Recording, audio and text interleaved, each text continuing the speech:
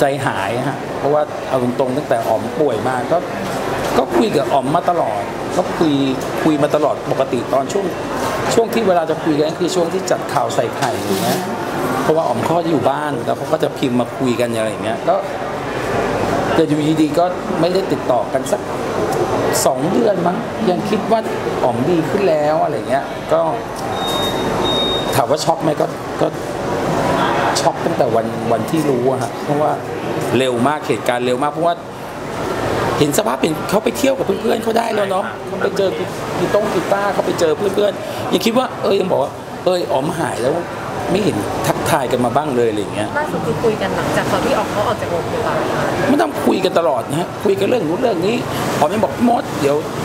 เออเดี๋ยวอ๋อมออกไปแล้วเดี๋ยวอ๋อมไปออกแฉนะอะไรอย่างเงี้ยนึกออกปะก็ยังบอก ก็ยังคุยกันอยู่เลย แต่ก็วันที่รู้ก็พูดเลยไม่ถูกอะพยายาม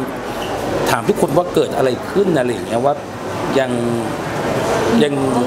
ยังงงนะมันงงเพราะว่าทุกอย่างมันเร็วมากนะฮะบอกว่าอ๋อมไปไปโรงพยาบาลแค่แป๊บเดียวก็เสียชีวิตอะไรอย่างเงี้ยเพราะว่าอ๋อมเป็นคนให้แม่เรียกรถพยาบาลด้วยซ้ำไปที่พอเจอที่ออกจากสุดเมื่อไหร่ครับไม่ได้ไม่ได้เจอกันมาเป็นปีแล้วนะฮะ เพราะว่าจริงๆไม่ได้เจอกันมาเป็นปีแล้วแต่คุยคุยกันคุยกันทั้งวันน่ะก็คือแต่แต่พี่ออกส่งกำลังใจทางไลน์ตลอดก็คุยกันตลอดคุยคุยอย่างน้อยเช้ามาก็แกเป็นยังไงบ้างวะอะไรอย่างเงี้ยนึกออกป่ะ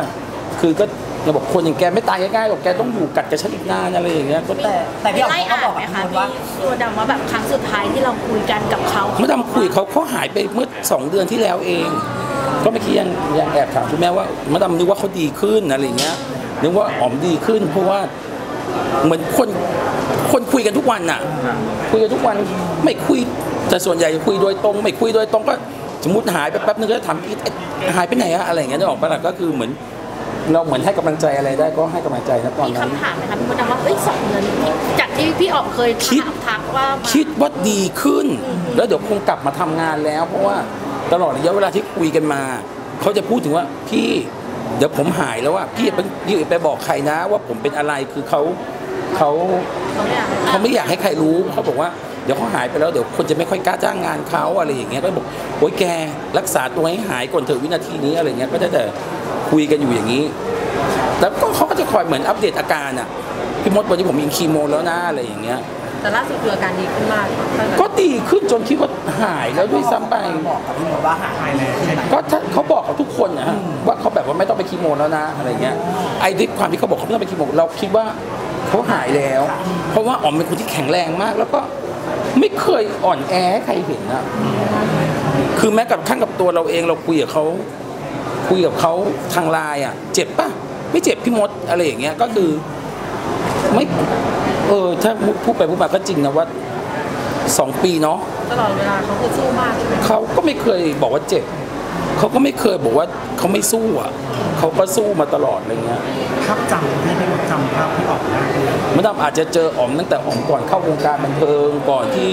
อ๋อมจะไปอยู่โพลิพัสตั้งแต่เจอกับอ๋อมใหม่ๆตั้งแต่อ๋อมใหม่ๆยังจำได้ว่าแบบว่าคือลูกน้องมดดำอะเป็นคนเอาอ๋อมไปขายห้าหมื่นบาทให้โพลีให้ไปขายสัญญาอะไรอย่างเงี้ยนึกออกป่ะ อาจจะเจอกันตั้งแต่ตอนนู้นอะหูยาวนานมากนะฮะก็จำกันมาตลอด ไม่ถึง 30 ไม่ถึงสิสัก20อะไรอย่างเงี้ยแต่ก่อนที่ก่อนอ๋อมจะเข้า Polyplus อะ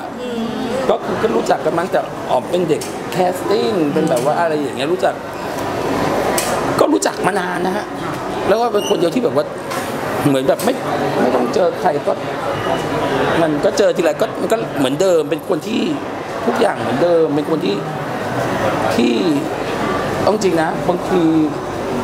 ถ้าวันนั้นแบบว่าอย่างโซบีอยู่อยู่มาดามวันที่อ๋อมไปเนี้ยก็จะรู้ว่าแบบปกติ ไม่ค่อยเสียน้ำตาให้แบบว่าจริง ๆ นะ แต่แบบว่ากับอ๋อมนี่คือหนึ่งช็อกช็อกมากกว่า แต่เราก็รู้มาตลอดว่าเขาป่วยอะไรเงี้ยเขาป่วยเขาป่วยคือรู้รู้มาตลอดแต่ก็ ไม่คิดว่าวันนี้มันจะมาถึงเร็วใช้คำว่าเร็วดีกว่า เมื่อกี้พี่มดได้มีโอกาสไปบอกอะไรกับพี่ออกเพราะว่าเห็นไปก็บอกหลับไม่สบายไม่ต้องเจ็บแล้วอะไรเงี้ยเขาก็เขาผ่าตัดมามามาเขาก็เจ็บเจ็บเจ็บแต่ไม่เคยบอกเราอะไรเงี้ยเขาแต่ก็คืออย่างที่ว่าสองสามเดือนที่ผ่านมาเราก็ยังรู้สึกเอ๊ะจริงๆทำไมเราน่าจะเอกใจตั้งแต่สองเดือนอยู่ดีคนเคยคุยกันแล้วหายไปไหนอะไรอย่างเงี้ย เหมือนเรารู้สึกว่าเราพลาด ไหมคะใช่มันรู้สึกไม่เพิ่งมานั่งคิดได้เมื่อกี้นะว่า ตอนสวยว่า เออว่ะทำไมเราไม่ไม่เอะใจว่าคนเคยคุยกันแล้วแบบหายไปอยู่ดีๆหายไปแบบว่า หายไปช่วงช่วงหนึ่งเลยอย่างเงี้ยเขายังไปบอกกับเออโทรศัพท์ไปคุยกับโปรดิวเซอร์คชาภาอยู่เลยว่า อย่าไปบอกพี่มดนะว่าอะไรว่าว่าเขาไม่ต้องยิงคีโม แล้วอะไรอย่างเงี้ยคือเรา เราก็เพิ่งมารู้อะไร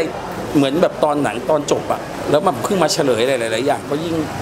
ยิ่งยิ่งอึ้งยิ่งยิ่งมีเหตุการณ์อะไรที่อึ้งไปอีกเยอะอะเสียดายนะคะเพราะว่าเราเห็นเขามาไม่ต้องเสียดายเขาที่แบบว่าคนเสมอต้นเสมอปลายอะไรอย่างเงี้ยเป็นคนหนึ่งที่มันยอมรับกล้าพูดได้เต็มปากว่าเป็นเป็นพระเอกที่แบบว่าเสมอต้นเสมอปลายแล้วก็ไม่ถือตัวไม่คำว่าไม่ถือตัวมันเชื่อว่า วันนี้เป็นบทพิสูจน์อย่างหนึ่งว่าวันที่เขาจากไปอะคนรักเขาเยอะมาก อันนี้คือทุกคนไม่จำเป็นจะต้องเป็นคนที่ช่องเจ็ดทุกคนทุกคนพูดถึงอ๋อมในทางที่ดี แล้วก็ทุกคนรักอ๋อมมากจริง ๆ นะ สุดท้ายอยากให้พี่มดดำฝากอะไรทิ้งท้ายครับพี่อ๋อมก็หลับให้สบายครับไม่ต้องห่วงอะไรแล้ว แล้วก็ไม่ทำว่าเขาก็ได้ทำทุกอย่าง ที่เรียกว่า perfect ที่สุดแล้วอะอย่างตัวมดดำเองเห็นเขาตั้งแต่ day one day one จนวันหนึ่งทุกคนสื่อค่อยๆมาประมวลภาพเขาตั้งแต่ละครเรื่องแรกอะไรเงี้ย เรารู้สึกว่าเออขอบคุณที่แบบว่าเรายังได้รู้จักเขายังเป็นช่วงหนึ่ง เรายังอยู่ในหลาย ๆ ช่วงของชีวิต ตอนที่เขาสำเร็จอะไรเงี้ยโอเคขอบคุณขอบคุณมากๆนะคะให้มาทำก่อนหลังนิดนึงเสริมหนึ่งค่ะ